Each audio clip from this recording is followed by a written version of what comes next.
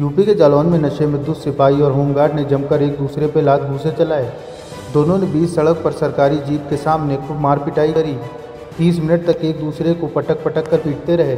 इस बीच वहाँ से गुजर रहे लोगों ने खड़े होकर तमाशा भी देखा, जबकि एक सिपाही दोनों को शांत करवाता हुआ दिख रहा है। फ़िलहाल दोनों पुलिसकर्मियों को सस्पेंड कर दिया गया है। वहीं होमगार्ड की भी रिपोर्ट कमांडेंट को दे दी गई है। मारपीट का वीडियो सोशल मीडिया पर तेज़ी से वायरल हो रहा है। और लोग अपनी प्रक्रिया भी ज़ाहिर कर रहे हैं। Bureau report IPN.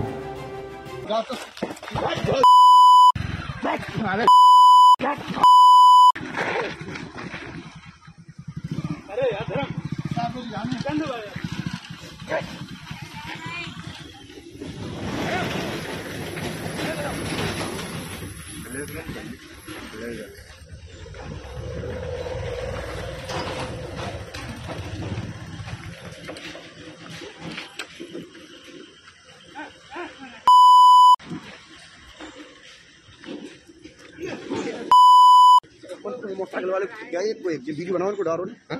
हाँ वीडियो बनाओ तो जल्दी करो बना इनको अरे क्या हुआ? अरे जा तो अरे अरे यार धर्म। साहब लोग जाने चंद